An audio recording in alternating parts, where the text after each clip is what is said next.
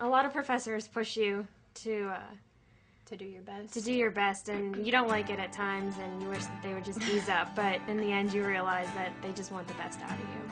My job is to teach and to prepare them for life. Try to find out uh, for each individual what they're passionate about. to empower students. to help them develop as an artist. I'm actually preparing them to become my colleagues. To be able to look at them and see something that they can't quite see yet, you know, and, and be able to pull that out. I think as a professor, we have a role to help develop the young person as a total person. I'm helping them achieve their goals, and that's kind of the thrill. I feel like I'm a role model for a lot of these kids. It's dramatic to me over four years, the difference, how much you can see that person grow and develop and mature. And they come back and tell you thank you.